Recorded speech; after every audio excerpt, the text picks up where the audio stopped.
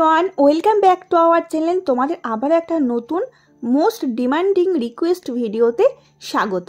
এই ভিডিওটা রিকোয়েস্ট ছিল যে লাল সাদা শাড়ি পরে মাথায় গামছা দিয়ে মা লক্ষ্মীর মতো সেজে গুজে একটা ভিডিও বানানো। তো দেখো, এরকম লুক তোমরাও ভীষণ পছন্দ করো। তো সেই কারণে আজকে মা লক্ষ্মীর মতো সেজে মা লক্ষ্মীর ভান্ডারাই চলে এসেছি মানে আমার কিচেনে বাঙালির রান্নাঘর। তো এইরকম লুকে সত্যি একটা অন্নপূর্ণার মতো লাগে। লাল সাদা একটা অন্যরকম, বাঙালিদের একটা অন্যরকম একটা কালচার বাঙালি নারী মানেই হচ্ছে শাড়ি, আর এই রকম লুক হচ্ছে বাঙালির নারী জাতির একটা অন্যরকম, যাতে সব ছেলেরাই পুরো ফিদা। কি বলো? তো দেখো, আমি আজকে ডালিয়া রান্না করব। ডালিয়া ভীষণ সুস্বাদু, খুব টেস্টি হয়, আর খুব সহজভাবে, খুব কম সময়ের মধ্যে সেটা আমি শেয়ার করব। তো আমি প্রথমে কড়াইয়ে তেজপাতা, তেল, আর জিরে ফোড়ন দিয়েছি। আর এরপর আমি সবজিগুলো একটু ভেজে নেব। এখানে আলু, ফুলকপি আছে, গাজর আছে। তোমরা যেরকম চাইলে যা খুশি সবজি দিতে পারো। তো আমি আলু আর ফুলকপিটা একটু আলাদা আগে ভেজে নেব, যেহেতু ওটা একটু ভাজতে টাইম লাগে। তারপর আমি গাজরটা দিয়ে ভালো করে ভেজে তুলে নেব।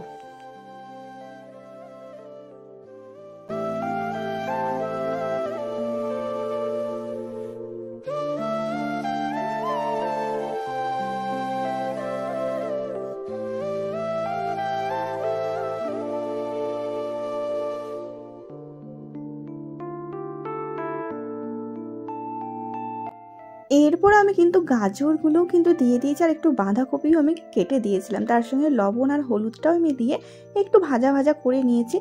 এরপরে আমি আদা গ্রেট করে নিলাম। আদাটা গ্রেট করে আমি এখানে দিয়ে দিলাম। এটা আমি, এবার মশলাটা কষাতে হবে।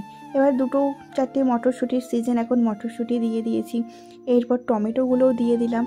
সাথে আমি দেব জিরে গুঁড়ো, হলুদ গুঁড়ো, সমস্ত যে মশলা যে সমস্ত গুঁড়ো মশলাগুলো আছে, এতে ধনে গুঁড়োও দেওয়া যেতে পারে, হালকা একটু পরিমাণে লঙ্কা গুঁড়ো, সামান্য একটু চিনি দিয়ে আর একটু জল দিয়ে ভালো করে কষিয়ে নিতে হবে।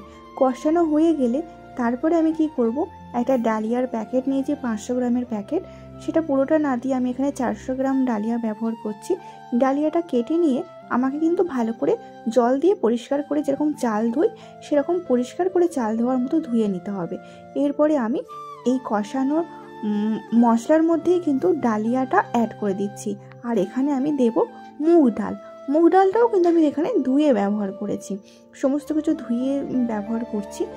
তো এরপরে কিন্তু ডালিয়া আমাদের কষিয়ে নিতে হবে ভালো করে দুটোকে মিশিয়ে, মশলার সঙ্গে আলু সবজির সঙ্গে ভালো করে মিশিয়ে কষিয়ে নিতে হবে।